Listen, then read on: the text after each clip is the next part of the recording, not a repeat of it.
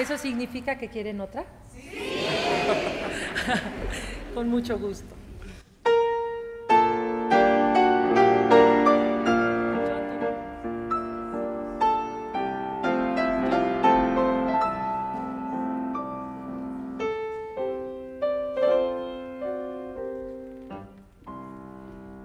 Morir por tu amor.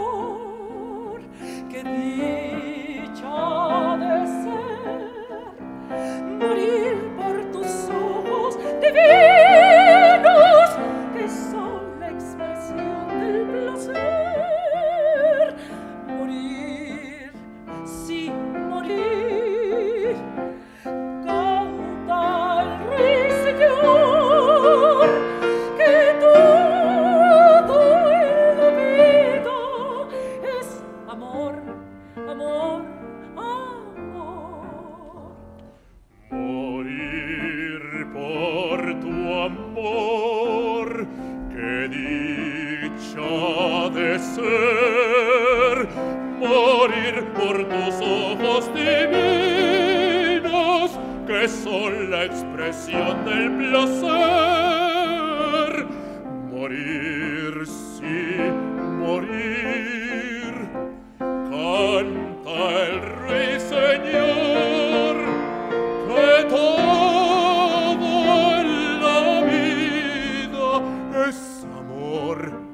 amor, amor. Cantar, cantar, cantar, cantar, que al cabo la vida es muy corta. Reír, reír, reír, reír, que al cabo la vida está loca. Amor, amor, amor, amor, palabra que encierra un destino. tu nombre sacrosanto, porque en ti siempre existe el amor. Ahora ustedes van a decirlo.